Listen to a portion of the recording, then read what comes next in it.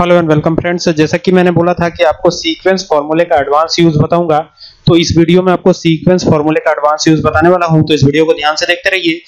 Is equal to का निशान लगाएँगे, ठीक है? और यहाँ लिखेंगे सीक्वेंस जैसा कि पिछले वीडियो में मैंने बताया था, एक से लेकर अगर सेवन तक या टेन तक हमें सीक्वेंस चाहिए तो ये हमें एक एक ही रो में, आप देख सकते हैं, आप देखिए, ये एक रो है, और इसी रो में आप देख सकते हैं कि ये नंबर्स फिल हुए हैं, एक से लेकर सात तक। हमें अगर कॉलम वाइज चाहिए मतलब अलग अलग रोज में चाहिए तो ये कैसे होगा, इसकी बात करेंगे और अलग अलग डिफरेंसेस के साथ कैसे यूज़ करेंगे।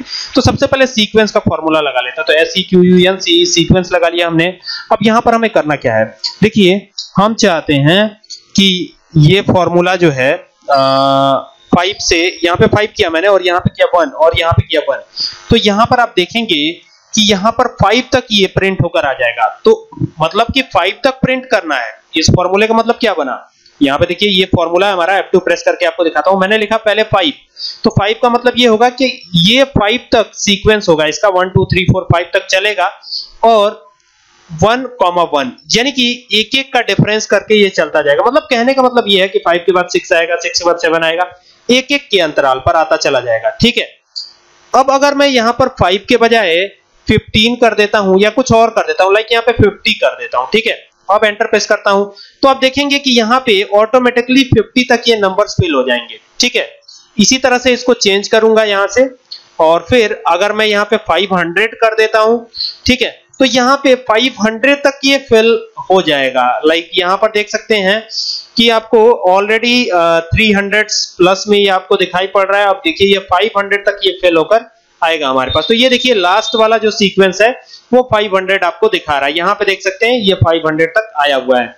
ठीक है, चलिए आगे बात कर लेते हैं।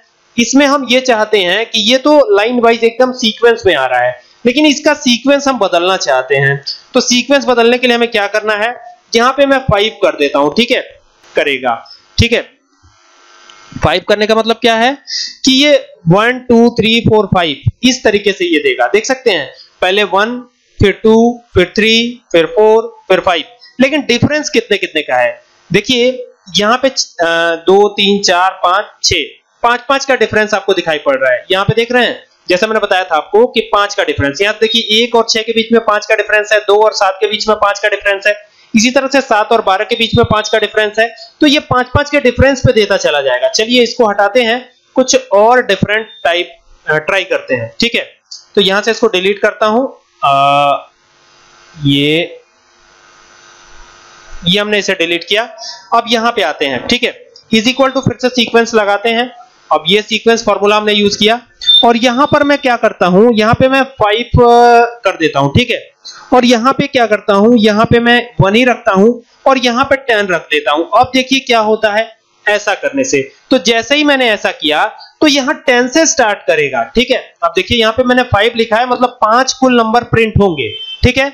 और यहाँ पे लिखा है 1 अब 1 का मतलब ये हो गया कि 1 1 के डिफरेंस पे ये आएगा, ठीक है? जैसे 10 11 12 और यहाँ 10 से स्टार्ट किया है तो 10 से स्टार्ट किया है मतलब 10 से स्टार्ट हो रहा है, और 10 11 1 इस तरह से करके जा रहा है। अगर मैं यहाँ पे 2 दे देता हूँ लाइक यहाँ पे देखिए 2 दे दिया मैंने और एंटर प्रेस किया तो आप देख पाएँगे कि ये दो कॉलम अलग-अलग कॉलम्स में आ चुका है, और 10 के बाद 12 यहाँ पे देखिए 10 के बाद 12 आ रहा है, ठीक है?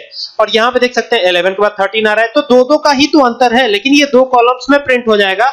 और उस तरह से अगर मैं करता हूँ लाइक यहाँ पर आता हूँ, और अगर मैं यहाँ पे 1 रखता हूँ, देखिए यहाँ पे 1 रख दिया मैंने तो ये एक ही कॉलम बनेगा, ठीक है? एक ही कॉलम में रो वाइज ये प्रिंट होता चला जाएगा।